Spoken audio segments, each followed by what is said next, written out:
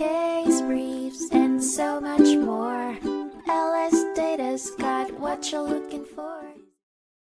A Tennessee consumer filed a class action lawsuit against car dealer Larry Hill Pontiac slash Oldsmobile slash GMC for violating consumer protection and trade practice laws by not disclosing a dealer reserve agreement with General Motors Acceptance Corporation, GMAC.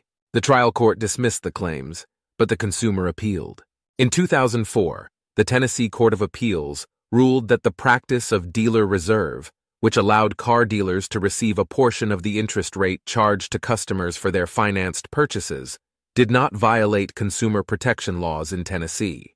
The court affirmed the earlier dismissal, finding that the plaintiff failed to state a cause of action for their claims. Hill Pontiac received a 2.25% markup on the interest rate quoted by GMAC as part of the dealer reserve arrangement, a common practice among car dealers. The court dismissed claims of violation of the Tennessee Consumer Protection Act, TCPA, civil conspiracy, unjust enrichment, and trade practice law violations, deeming the Dealer Reserve Commission reasonable.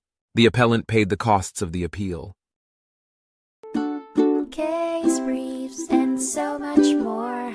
LS Data's got what you're looking for. Visit lsd.law, elevate your mind. Stress of class.